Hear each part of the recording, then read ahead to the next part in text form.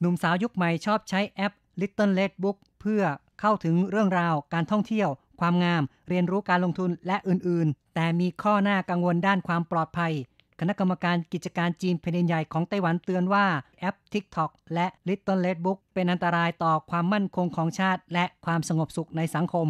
หญิงแซ่เฉินคนหนึ่ง ให้บริการชำระเงินหยวนบน Little Red Book ได้รับค่าธรรมเนียมเป็นผลตอบแทน หลังจากชาวเน็ตมาซื้อแต้มเกม หญิงแซ่เฉินโอนเงิน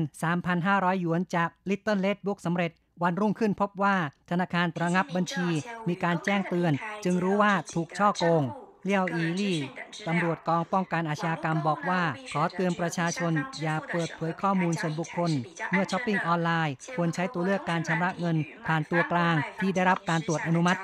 วิธีการช่อโกงที่พบบ่อยคือ การแอบอ้างเป็นผู้ขายออนไลน์ หลอกให้เหยื่อเชื่อว่าจะส่งสินค้า เรียกร้องให้โอนเงิน เมื่อโอนเงินไปแล้วกลับไม่ได้รับของ ผู้เชี่ยวชาญเตือนว่า แพลตฟอร์มคลิปวิดีโอใน TikTok และ Little Red Book มีปัญหาความปลอดภัยข้อมูลซ่อนเร้นอยู่ คลิปวิดีโอมีไวรัสแอบเก็บข้อมูล password และบัตรเครดิต ซอฟต์แวร์ภายในจะส่งข้อมูลกลับไปยังจีน ประชาชนควรระมัดระวังเป็นพิเศษเมื่อมีการใช้งาน แสงชัย กิติภูมิวงศ์ RTI ไต้หวัน